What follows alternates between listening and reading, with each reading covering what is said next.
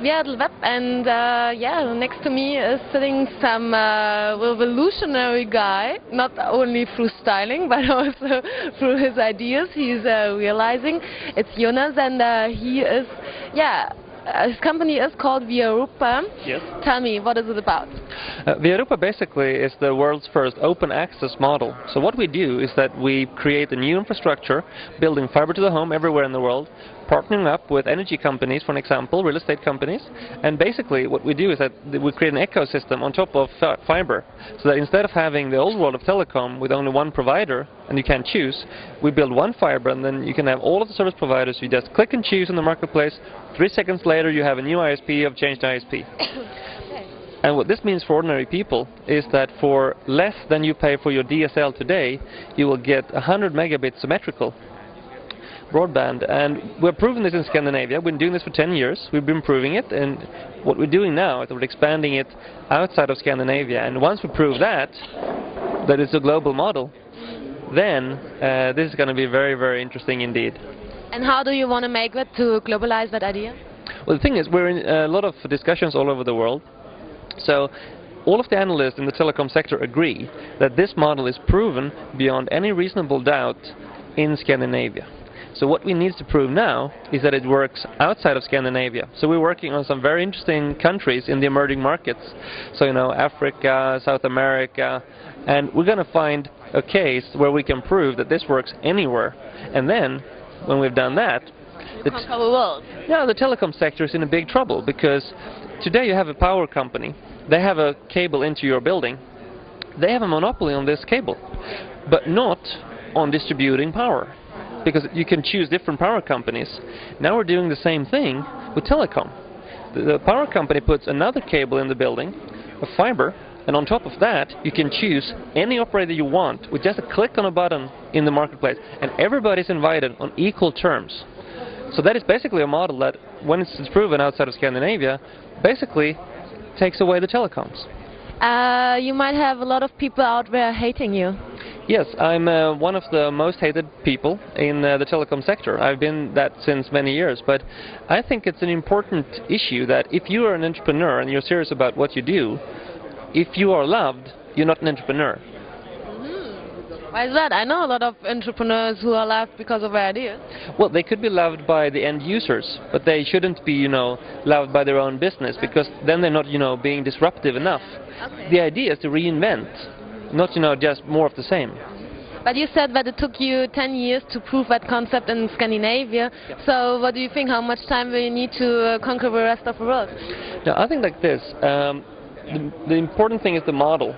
So when we get the model proven, and that will take roughly one or two years uh, outside of Scandinavia, then the model in itself will be very, very interesting. So a lot of other companies will try to do what we do, and that's fine, because it just spreads the model quicker. But the important thing is today, the telecom, I mean, the only thing we're doing is creating a normal marketplace. You know, if you build um, a galleria, you don't only build a galleria, you don't try to, you know, create every bar of soap, every bar of chocolate that you're going to sell. But that's how it works in the telecom business. That they build everything, and the telecom company tries to be the best at every single thing, and we think that's wrong. So we're just saying the infrastructure companies that you already have, power companies, water companies, they're very good at local infrastructure. We create a marketplace, but we're not producing the services. Then everybody's invited on equal terms to compete, and the end user is really the winner. Um, yeah, but you're saying that, uh, that there are lots of competitors and also a sort of monopolism. So uh, if it comes to the legal issues, it's also very, very complicated to, to work on your idea.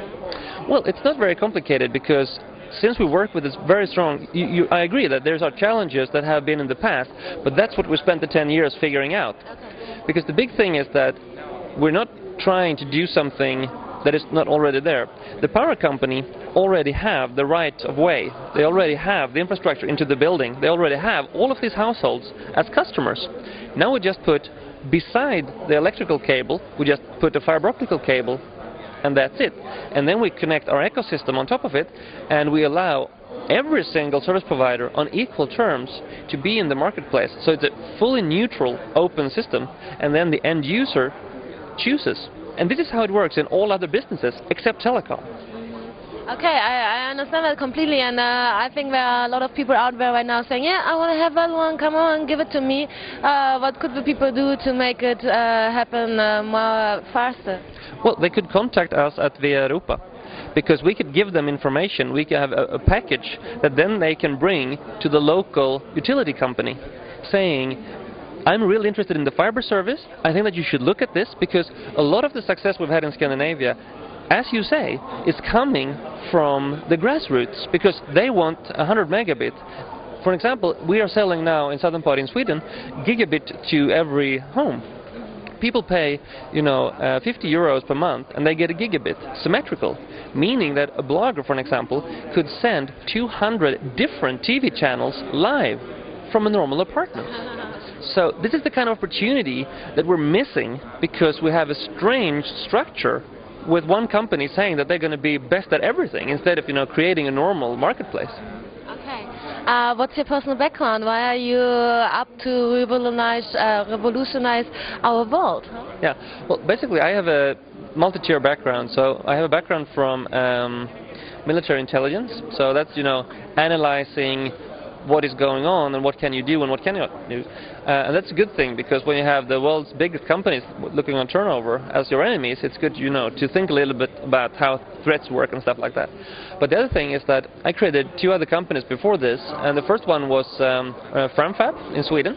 So it was and still is the largest um, uh, web agency outside of the U.S. and the third largest in the world. So basically, we built 3,000 people. We built digital services in, in um, the beginning of um, uh, 2000, and then we created the Swedish broadband company. So we proved in Sweden that we had a startup, and we competed head on with the Swedish Telecom. And in seven years, we took 27% of the market. So it's easy to beat the old telcos, even if you do it one on one. But this is a model that will help everybody in this room, everybody watching this uh, podcast, to be able to create services and on equal terms let the end users pick and choose. Mm-hmm. You mentioned before also that you're going also to Latin America and Africa. Do you think that your model is uh, a way to bring them into internet and give them yeah, a way to connect to uh, education and everything? Definitely, because one of the problems in these countries is that you don't have efficient operations.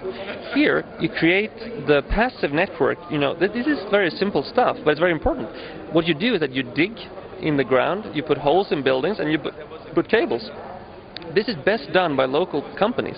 But then, as soon as that is done, you connect that to the ecosystem so that we can bring the world's most efficient service providers on top of the infrastructure. And this creates competition, and this creates much lower prices, much better services, and as you say, as a bonus, you get a lot of education, you get a lot of things. This is a, there's a study being done.